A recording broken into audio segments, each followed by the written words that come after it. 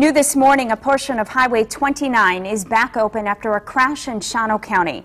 It happened a little after 4 this morning at the intersection with Highway 45 in the town of Wittenberg. The Sheriff's Department says a vehicle rolled onto its side, blocking the eastbound lanes of Highway 29. The crash damaged the guardrail, which had to be removed. No one was hurt. Officials say speed and icy road conditions appear to be factors in the crash.